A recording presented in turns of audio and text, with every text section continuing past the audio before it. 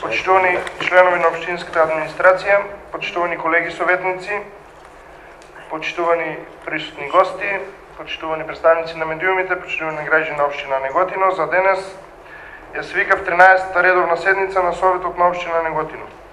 За работа на седницата го предлагам следниот дневен ред. Точка 1. Предлог одлука за прифаќање на иницијативата за отпочнување на постапка за изработка на урбанистички план во населено место за изградба на депонија за индустријски и, не, и, не, и неопасен отпад, као пепелиште место викано Шобово, општина Неготино. Точка 2. Предлог одлука за прифаќање на иницијативата за отпочнување на постапка за изработка на детален урбанистички план за урбана заедница 3, дел од урбан блок 3.2, општина Неготино. Точка 3. Предлог одлука за изменување и дополнување на одлуката за утврдување на потребата за поставување на урбана опрема и за условите, начинот и постапката за издавање на одобрение за поставување на урбана опрема. Точка 4. Предлог програма за изменување и дополнување на програмата за поставување урбана опрема на територијата на општина Неготино. Точка 5. Предлог програма за изменување на програмата за комунални дејности и уредување на градежно земјиште на просторот на општина Неготино за 2018 година. Точка 6 предлог одлука за одобрување на користење на една просторија во објектот на општина Неготино Желкова куќа на катастарска парцела број 9894 кроз 1 во Неготино. Точка 7. Предлог програма за изменување и дополнување на програмата за активностите на општина Неготино во областа на социјалната заштита во 2018 година. Точка 8 Предлог програма за изменување и дополнување на програмата за активностите на општина Неготино во областа на образованието во 2018 година. Точка 9. Предлог програма за изменување и дополнување на програмата за локален економски развој на општина Неготино за 2018 година. Точка 10. Предлог одлука за утврдување на почетокот и завршетокот на работното време на јавната општинска установа детска градинка Фемо Кулаков Неготино. Точка 11. Предлог решение за добровување на финансиски средства. Точка 12. Предлог решение за доделување на еднократна парична помош. Точка 13. Предлог одлука за изменување и дополнување на буџетот на општина Неготино за 2018 година ребаланс. Отварам расправа по вака предложениот дневен ред. Молам дали некој да разбори. Игор Јованов, повелите.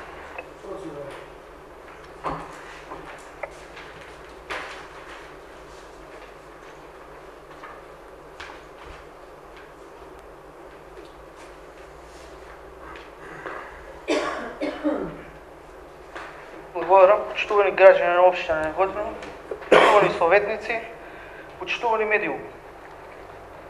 Значи, пред да почне седницата, која што е закажена за денеска, сакам да укажам на јавноста на општина Неготино, досега советничката група на ВМРО да ДПМН.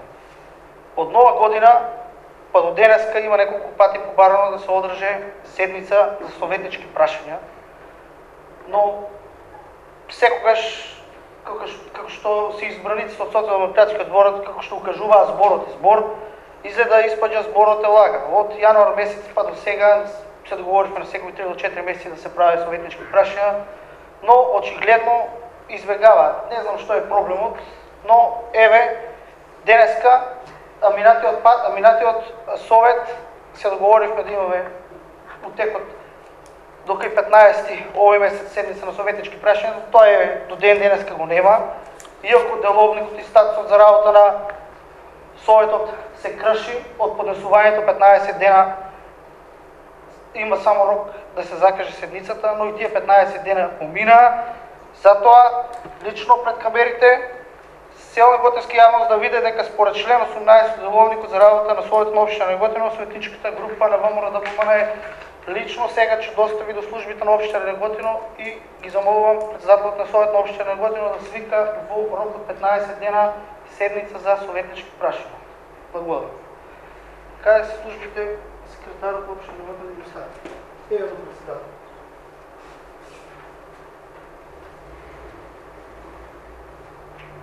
Благодарам.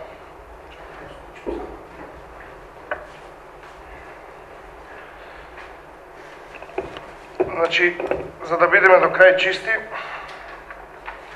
првен колега Игор Јованов, нова барање. Имате дадено предлог за свикување на посебна седница за поставување на прашања. И окей, тоа барање слично имавте поднесено.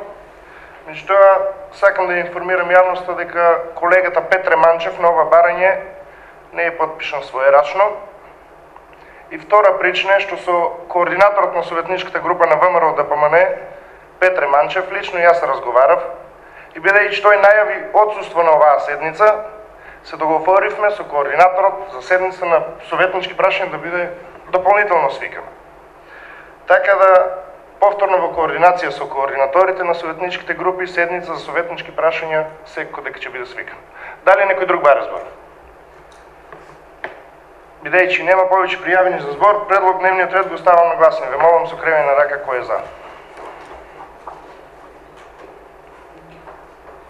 14 за, констатирам дека дневниот ред е усвоен. Преминуваме со работа по првата точка. Предлог одлука за прифаќање на иницијативата за отпочнување на постапка за изработка на урбанистички план во населено место за изградба на депонија за индустријски инертен и неопасен отпад као пепелиште место викано Шобово, општина Неготино. По оваа точка седница одржи Комисијата за урбанизам. Го молам председател да го соопшти ставот на комисијата. Трајче Димов повели. Благодарам. Комисијата за урбанизам, комунални дејности и заштита на животна средина одржа седница и заседаваш по оваа точка од дневниот ред. Значи, одлука за прифаќање на иницијативата за отпочнување на постапка за урбанистички план во населено место за изградба на депонија за индустријски инертен и неопасен отпад, катастарска општина Пепелиште, место викано Шобово, општина Неготино. Значи, овде станува збор за промена на дел од парцелите кои што ги опфаќа овој опфат. Овој опфат веќе е изгласан на Совет 2010 година, меѓутоа треба да се намали бидејќи во моментот таму поминува и дел од гасоводот и затоа опфатот треба да се намали за да може инвеститорот или било кој друг подосно да си средува документи за истиот. На комисијата за урбанизам оваа точка беше разгледана, беше едногласно прифатена, затоа предлагам и Советот на општина Неготино истото да ја усвои. Благодарам. Благодарам колега, дали некој друг бара збор? Бидејќи нема пријавени за збор, предлог од луката ја ставам на гласни. Ве молам со кремење на рака кој е за. 14 гласа за, констатирам дека одлуката е усвоена. Отварам расправа по втората точка. Предлог одлука за прифаќање на иницијативата за отпочнување на постапката за изработка на детален урбанистички план за урбана заедница 3, дел од урбан блок 3.2, општина Неготино. По оваа точка седница одржа Комисијата за урбанизам, го молам председател да го соопшти ставот на комисијата. Трајче Димов Погле. Благодарам. Комисијата за урбанизам, комунални дејности и заштита на животна средина заседаваше по оваа точка од дневниот ред. Значи станува збор за иницијатива за отпочнување на постапка за изработка на детален урбанистички план за УЗ3, дел од Урбан блок 3.2 општина Неготино, помеѓу улиците Велко Влаховиќ, улица Вардарска, улица Тиквешка и улица Ѓоко Мишев. Ова е на барање од Илија Бошков. Значи треба само да се промени во, во, во неговите парцели, а просторот за град. Комисијата позитивно се, се изјасни ја усвои оваа точка од дневниот ред, затоа предлагаме и Советот на општина Неготино исто да ја усвои. Благодарам. Благодарам колега, дали некој друг бара збор? Бидејќи нема пријавени за збор, предлог од одлуката ја ставам на гласање. Ве молам со кремење на рака кој е за. 14 гласа за, нема воздржани, нема против, констатирам дека одлуката е усвоена. Отварам расправа по третата точка од дневниот ред. Предлог одлука за изменување и дополнување на одлуката за утврдување на потреба за поставување на урбана опрема и за условите, начинот и постапката за издавање на одобрение за поставување на урбана опрема. И по оваа точка седница одржа Комисијата за урбанизам. Го молам председателот да го соопшти ставот на комисијата. Трајче Димов Побед. Благодарам. Комисијата за урбанизам заседаваше по оваа точка од дневниот ред. Значи ова е одлука за изменување и дополнување на одлуката за утврдување на потреба за поставување на урбана опрема и за условите, начинот и постапката за издавање на одобрение за поставување на урбана опрема. Значи се прави промена во одлуката 08 цртичка 76 кроз 12 од 14.3.2017 година за утврдување на потребата за поставување на урбана опрема и за условите на начинот и постапката за, за издавање на одобрение за поставување на урбана опрема се вршат следните следните промени. Пардон. Во член 8, став 1, точката на крајот од реченицата на точката се брише и се додаваат зборовите само за тераси, шанкови, на стрешници и покриени отворени шанкови. Оваа промена се однесува на барањата кои што се доставуваат до дирекција за заштита и спасување. А, значи со ова а, овој овие барања се однесуваат само за тераси, шанкови, на стрешници и покриени отворени шанкови, не и за другата а, Да за поставување на другото урбана опрема, бидејќи не гледаме причина во тоа, односно оправдана причина за подносителите да поминуваат низ тие а, низ тој процес, само а, се прави избрки, му се одолговлекуваат барањата, а нема никаква нема никаква препрека за, за истите да бидат издадени. А, комисијата позитивно се изјасни по ова, по оваа точка од дневниот ред, истата ја усвои на комисија, затоа предлагаме со на општина Раготина исто да ја усвои. Благодарам. Благодарам колега, дали некој друг бара збор? Бидејќи нема пријавени за збор, ја затварам расправата, предлог од луката ја ставам на гласње. Ме молам со кревење на рака кој е за. 14 за, констатирам дека одлуката е усвоена. Отварам расправа по четвртата точка од дневниот ред. Предлог програма за изменување и дополнување на програмата за поставување на урбана опрема на територијата на општина Неготино. По оваа точка седница одржа Комисијата за урбанизам. Го молам председателот да го соопшти ставот. Трајче да има поглед. Благодарам. Комисијата за урбанизам заседаваше и по оваа точка од дневниот ред, а ова се однесува за изменување и дополнување на програмата за поставување на урбана опрема на територија на општина Неготино. Во програмата број 08 цртичка 228 кроз 4 од 2.5.2018 година за поставување на урбана опрема на територијата на општина Неготино се вршат следните измени. Точката 2.4, тераси шанкови на стрешници, во став 2 алинеја 5, бројот 2 се заменува со бројот 1.2 и со оваа измена се, се менува прилогот 4.3. Во точка 2.6, детски игралишта и спортски реквизити, во став 2 се додава една нова алинеја која гласи село Пепелиште, прилог 6.4, значи се предвидуваат места за детски игралишта и спортски реквизити во село Пепелиште. Во точка 2 Точка 1.4 автобуски постојки во став 2 се додаваат две нови алинеи 6 и 7 кои гласат село Тимјаник прилог 9.9 и село Пепелиште 9.10. Значи во село Пепелиште и село Тимјаник се предвидуваат места за автобуски постојки. Или доколку се предвидени се поставуваат нови автобуски постојки. Во точка 2 точка 1.5 урбана опрема за продажба на вестници, сувенири, цвеќиња, храна и сладолед. Во став 1 алинеја 1 се додава и прилог 10.4. А, ова се однесува на делот од площадот во општина Неготино, каде се предвидуваат сите места каде што се продаваат а, пуканки а, и ред други кровнички, значи тие а, места се предвидуваат во програмата за поставување на урбана опрема. Комисијата ја разгледа оваа точка од дневниот ред, позитивно ја усвои, затоа предлагам и Советот на општина Неготино исто да ја усвои. Благодарам. Благодарам колега, дали некој друг бара збор? Бидејќи нема пријавени за збор, предлог програмата ја ставам на гласни, ви молам со на рака кој е за. 14 гласа за, констатирам дека програмата е усвоена. Отварам расправа по петата точка од дневниот ред, предлог програма за изменување на програмата за комунални дејности и уредување на градежно земјиште на просторот на општина Неготино за 2018 година. Седница одржа Комисијата за урбанизам, го молам председателот на комисијата да го соопшти ставот. Трајче Димов има поле. Благодарам. Комисијата за урбанизам заседаваше и по оваа точка од дневниот ред, односно предлог програма за изменување на програмата за комунални дејности и уредување на градежно земјиште на просторот на општина Неготино за 2018 година. Овде измени се во делот на финансии и средства за остварување на програмата. А, така што доколку а, комисијата позитивно ја усвои, предлагам совет да ја, да ја усвои истата, меѓутоа доколку некој има прашања, раководителот на одделот за урални дејности овде, така да ако има некои прашања, да благодарам. Благодарам. Колега, дали некој друг бара збор? Бидејќи нема пријавени за збор, ја затварам расправата, предлог програмата ја ставам на гласни, ви молам. Со на рака кој е за? 14 гласа за, констатирам дека програмата е усвоена. Отварам расправа по шестата точка од дневниот ред. Предлог одлука за одобрување на користење на една просторија во објектот на општина Неготино, Желкова куќа на катастарска парцела број 9894 кроз 1 во Неготино.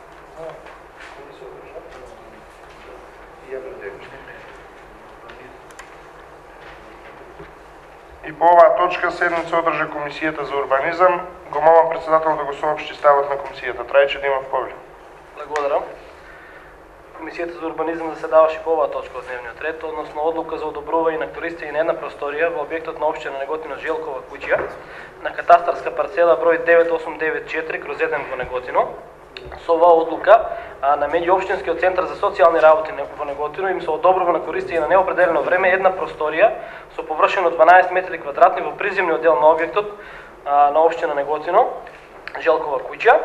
А, ова е ова канцеларија се отстапува на општините на, на местно надлежните центри за социјална работа за администрирање на правата од областа на социјална заштита и заштита на децата. Комисијата за урбанизам а, позитивно ја, мислам ја усвои оваа точка од дневниот ред на комисија и затоа предлагаме Советот на општина Неготино исто да ја усвои. Благодарам. Благодарам колега, дали некој друг бара збор? Бидејќи нема пријавени за збор, ја затварам расправата, предлог одлуката ја ставам на гласни да молам со креме на рака кој е за. 14 гласа за. Констатирам дека одлуката е усвоена. Отварам расправа по седмата точка од дневниот ред.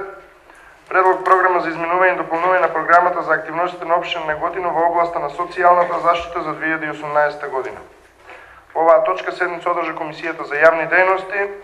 Го молам председателот на комисијата да го соопшти ставот. Воле Младеновиќ повеќе.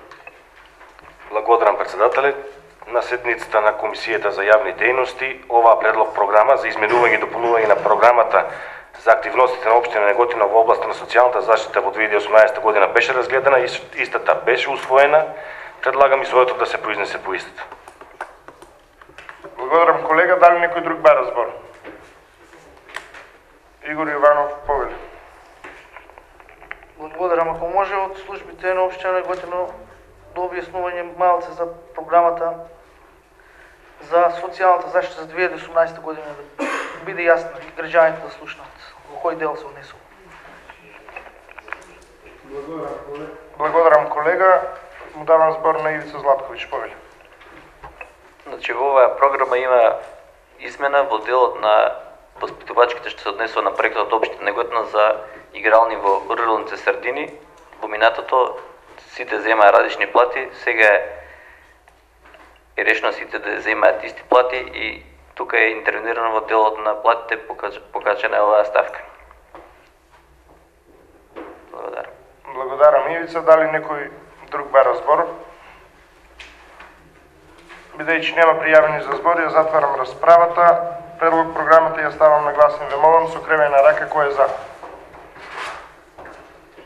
14 гласа за, констатирам дека програмата е усвоена. Отварам расправа по осмата точка од дневниот ред. Предлог програма за изменување и дополнување на програмата за активностите на општина Неготино во областа на образованието во 2018 година. По оваа точка седница одржа Комисијата за јавни дејности. Го молам председателот на комисијата да го соопшти ставот. Воле Младеновиќ повели. На седницата на Комисијата за јавни дејности беше разгледана и ова предлог програма за изменување и дополнување на програмата за активностите на општина Неготино во областа на образованието во 2018 година. Истата беше усвоена. Предлагам и своето да се произнесе по истата. Благодарам колега, дали некој друг бара збор? Бидејќи нема пријавени за збор, предлог програмата, ја затварам расправата, предлог програмата ја ставам на гласен. Ве молам со кревање на рака кој е за. 14 гласа за, констатирам дека програмата е усвоена. Отварам расправа по деветата точка од дневниот ред, предлог програма за изменување и дополнување на програмата за локален економски развој на општина Неготино за 2018 година. По оваа точка комиси... седница одржа Комисијата за локален економски развој. Го молам председателот на комисијата да го соопшти ставот на комисијата Ивана Трајкова повели. Благодарам председателе. На денешната седница на Комисијата за локален економски развој ги разгледавме измените на програмата за локален економски развој на општина Неготино за 2018 година. Комисијата гласаше позитивно по оваа точка. Предлагам и советот да ја усвои истата. Благодарам. Благодарам колешке, дали некој друг бара збор? Бидејќи нема пријавени за збор, ја затварам расправата, предлог програмата ја ставам на гласање. Ве молам со кревење на рака кој е за. 14 за, констатирам дека програмата е усвоена. Отварам расправа по 10 точка од дневниот ред, предлог одлука за утврдување на почетокот и завршетокот на работното време на јавната општинска установа детска градинка Фемо Кулаков Неготино. Се извинувам.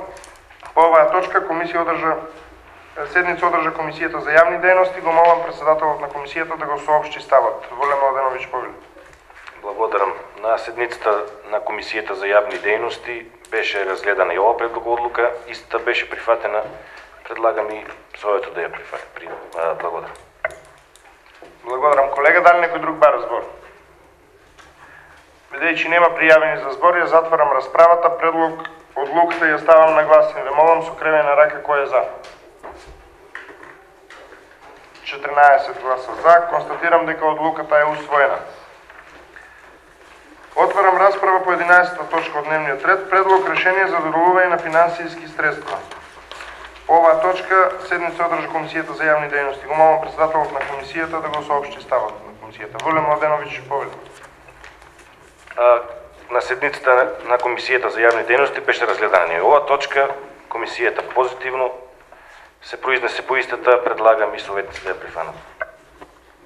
Благодарам колега. Дали некој друг бара збор? Бидејќи нема пријавени за збор, ја затварам расправата. Предлог решението го ставам на гласење. Ве молам со кревење на рака кој е за. 14 гласа за, констатирам дека решението е усвоено. Отварам расправа по 12 точка од дневниот ред. Предлог решение за доделување на еднократна парична помош. Оваа точка комисија седница одржа комисијата за јавни дејности, го молам председателот на комисијата да го соопшти ставот. Воле Младеновиќ Повели. На седницата за, на Комисијата за јавни дејности беше разгледана и ова точка и ова точка исто така беше позитивно изгласана, предлагам и советот да ја усвои. Благодарам колега, дали некој друг бара збор? Бидејќи Зоран Повели колега. Благодарам.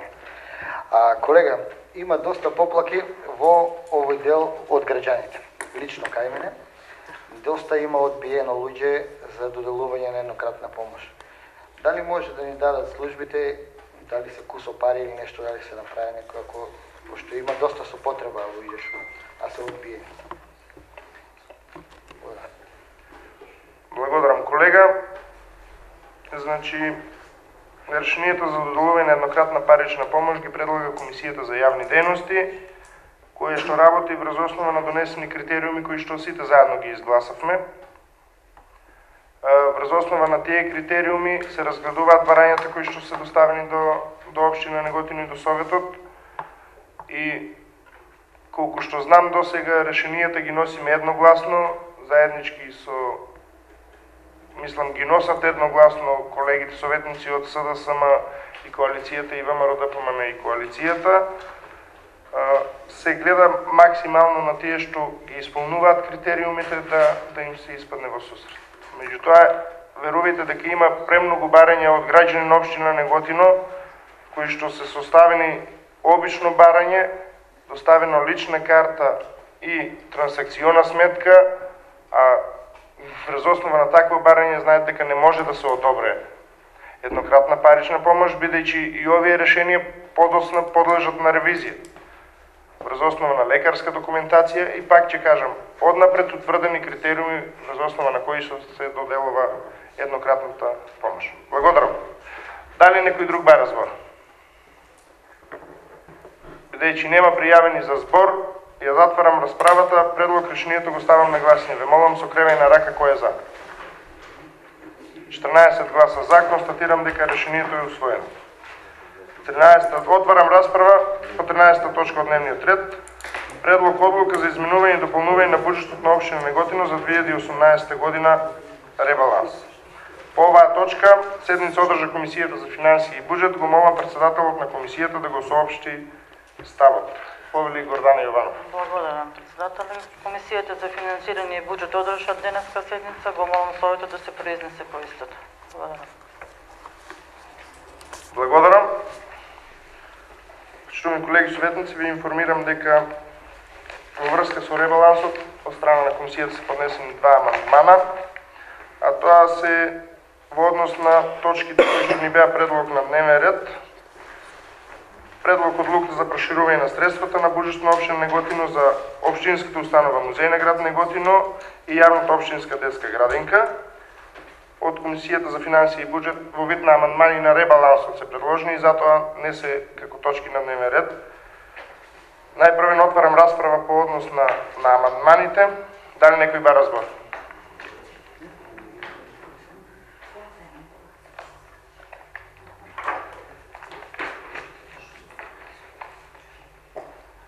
Бидејќи нема пријавени за збор, амандманите ги ставам на гласен ве молам со кревена рака кој е за. 8 гласа за, кој е против? Нема против, кој е воздржан? 6 воздржани. Констатирам дека амандманите се усвоени и стануваат составен дел од предлог одлуката за изменување и дополнување на буџетот на општина Неготино за 2018 година ребаланс. Дали некој друг бара збор по точката на дневниот ред? Игор Јованов повели.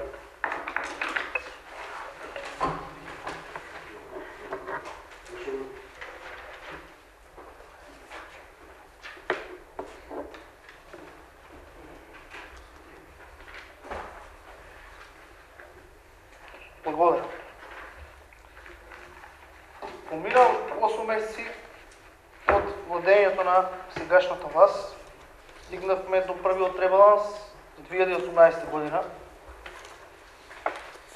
Мислев и си точкувавме дека на седмицата ќе биде присутен градоначалникот, но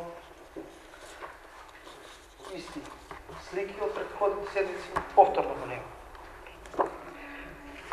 Значи, проекцијата на буџетот за 2018 година видовме еден развоен буџет, видовме буџет кој што даваше ветување дека оваа 2018 година ќе се направи нешто за граѓаните и за општина на Неготино.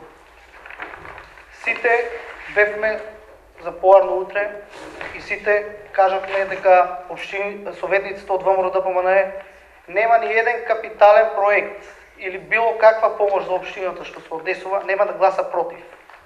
Кажавме дека сите како советници се бориме за доброто на граѓаните на општина Неготино и ќе гласаме за и секој проект што ќе биде предложен од администрацијата на општина Неготино, од градоначалникот ќе биде од страна на советниците на ВМРО да помане поддржан. Но еве 8 месеци помина, ништо. Не е само да кудиме, ама тоа е, ништо. 100 квадрати бекатон плочки на еден тротоар. Тоа секој може да го изгради. Може едно семејство да стави 100 квадрати во дворот и толку е. За 8 месеци 100 квадрати, ако е некој проект или нешто ако е направено што се однесува, граѓаните нека судат. молам само да се држиме до точката на дневниот ред. Значи, Ребаланс. Што, што се однесува до ребалансот, што да видиме? Сите очекуваме трансфер на средства од една ставка, друга ставка. Капитални проекти, да се изгради нешто позитивно за граѓаните, нешто да се направи. Што ќе видиме? Од едно место се крате, од друго место се крате, од трето место се крате, кај што гледаме новој извештај, нема ништо негде да се ставя плюс. Има плюс. Има плюс за, телеф... за телефонски разговор. Има плюс за вработување 3 милиона денари. Па до пред некоја седница кажавме дека вработувањата пренатрупена општина неефикасна администрација. Но еве гледаме. Се гледа. Само се вработуваат партиски војници и ништо друго. Гледам овдека се потрошили 100.000 денари за обилување облаци. И тоа замислите, за некои лица по 3 до 4 пати се обилуваат облаци. Само за првите пет месеци се потрошени за огласи 100.000 денари. Каде да одат тие пари? Кој паѓа на тие испити? Не знам каква администрација се вработува. Колку пати треба еден оглас да се распише? Два пати, три пати, четири пати. Па еве укажува дека досега се 100.000 денари. Сите гледаме секоја ден се вртат по вестниците. За едно, за, за едно работно место по 3 до 4 пати огласи се објавуваат. Тука нема ништо што да се крие, се е транспарентно, сите гледат. Ама работата е нешто да се прави, да се гради, да се види позитивно. До службите на општина Неготино, после моето обложение, че сакам по-детално за сите подпрограми да ми дадат обяснување од кај се кратат и ако може да кажат општината како ќе оде напред ако се кратат средства од капитални проекти. Значи, виче 8 месеци сте на власт, еден проект капитален да се започнеше, бар до крајот на оваа година да се завршиш. Што кажавме, сите ќе го подржиме тој капитален проект, но еве, помина 8 месеци, еден проект се нема почнат. Не па да се заврши до крајот на годината. Времето врго минува. Јас ќе почнам каде што има ост- зголемување, каде што има кратење, ќе ги обра... ќе прочитам јавноста да биде подетално запознаена. Каде се кратат? Кај социјални субвенции. Помош за деца без родители и родителски грижи. Од 80.000 се кратат на 50, минус 30.000. Друга социјална помош од 120 на 70.000. Бевме сите за социјалните ранливи категории, но еве, сегашната власт почна да крати. Кај што е најпотребно и кај што е најболно, таму удира.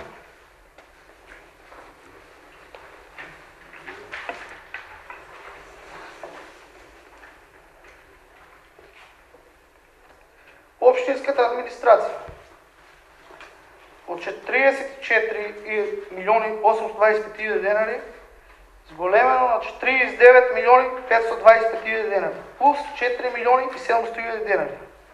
Браво, заплати има.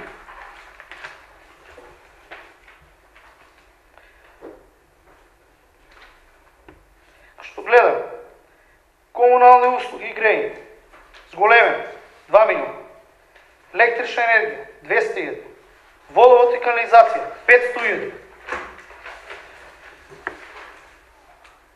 Транспорт на луѓе 50.000 предвидено во буџетот, 250 хиляди, 200 зголемено. Само каде што треба, не е зголемено. Што не треба, се зголемено. Расходи за репрезентација од 60 на 160. Браво. Се зголемуваат Јалкич ќе донесе некоја инвестиција градоначалникот кај што е тргне за да се шета види една седница да не иде. Белки овие репрезентации што се зголемат, ќе има позитивно нешто на крајот од годината.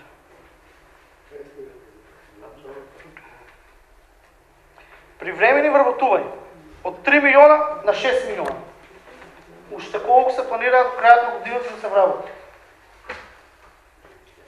Тие се каде што се кратење и зголемување во ребалансот на буџетот, кај што се тргнати до крајот на годината, се надевам, че има уште 3 до 4 ребаланси, што знаете во да првиот квартал од проектираниот буџет имаше 7% реализација, сега од вториот квартал се надевам 15 до 18% че има реализација, а проекцијата до 100% нека мислат општински служби или шофот од општината. Жално.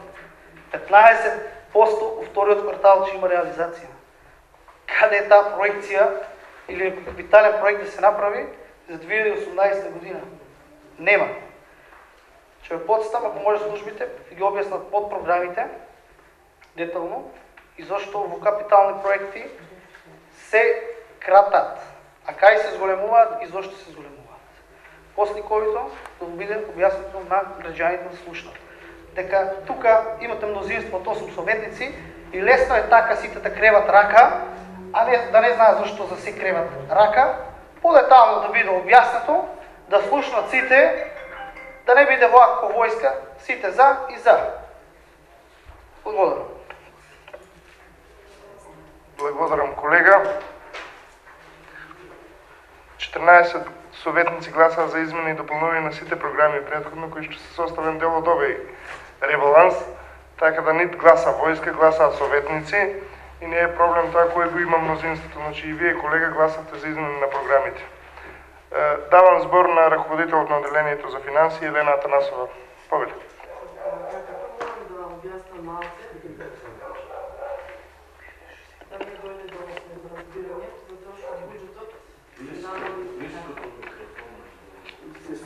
Буџетот се намали за 3 милиона и 500 денари. Во, се по, во, во самиот материјал што ви беше доставен, се гледа од секоја програма што е зголемено и што е намалено. Друго, господине Игор, сакам да ви нагласам дека помошта за новороденичните, помошта за деца без родители, социјалната помош е намалена за, на, затоа што до сега цела е исплатена. Благодарам. Дали некој друг бара збор? Реплика? Реплика Игор Јованов. Повели. Значи, мислев дека подетално ќе се објасни. Каже колешите дека бучат тама не 3 милиона, но тука бројките кажуваат нешто друго. Ако може повторно од 3 милиона да не уште една нула, па да биде она грешка, пошто овие документи што ни ги доставија на службите во општина Неготино кажуваат нешто друго.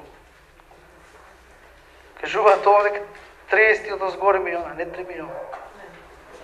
Погледнете ги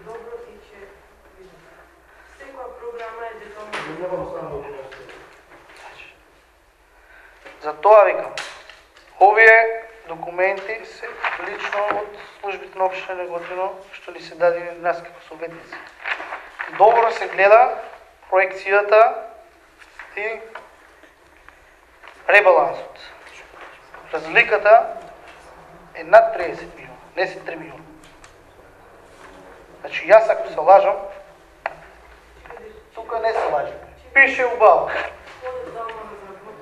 Од 617 милиона 699 на 583. Значи кај капитални приходи од 86 милиона 546 денари 79 831 6 милиона и 715 денари. Приходи од донации. И таму има. Значи ова јас и на советниците од ВМРО да помне и се надаме ви советници не сте го направили. Затоа викам пред граѓаните на општина Неготино, дали се 3, дали 35 милиона, повторно одговорите. Дека вие документ од службите, ниту сум го испечатил, и јас сум го напишал. Затоа малце чудно. 3 милиона и 35 е голема разлика. Благодарам. Благодарам колега, дали некој друг бара збор? Бидејќи нема пријавени за збор, ја затварам расправата. Предлог од луката ја ставам на гласање. Ве молам со кревање на рака кој е за. 8 гласа за, дали некој е против?